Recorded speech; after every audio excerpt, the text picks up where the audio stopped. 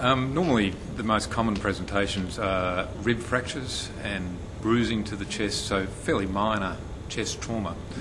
Uh, the problem for emergency physicians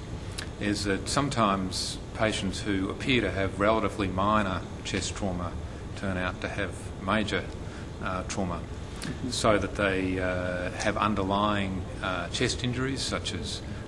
heart injuries to the heart or lungs, and that is not always obvious uh, when they first present.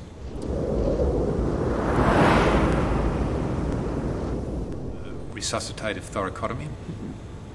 uh, which is which is something that uh, has been, I guess, something that has come into vogue and gone out of vogue. But with the advent of the FAST scan, that's the ultrasound of the heart in the emergency department, um, we can more accurately diagnose those patients who are likely to benefit from resuscitative thoracotomy.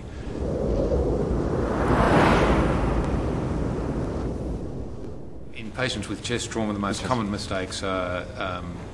uh, in terms of things that kill people, uh, are missing injuries. So, uh, injuries such as um, aortic transection, um, uh, missing tension pneumothorax, um, and uh, and the and the, the, the most common mistake uh, that, that happens down the track is that we see a patient with a rib fracture, we send them to the ward, and they don't get adequate analgesia, and those patients go on and develop uh, pneumonia, and some of them die, especially the elderly patients. So the under recognition of um, adequate analgesia is probably the most common cause of uh, preventable death Uh, in, in, in this group of patients.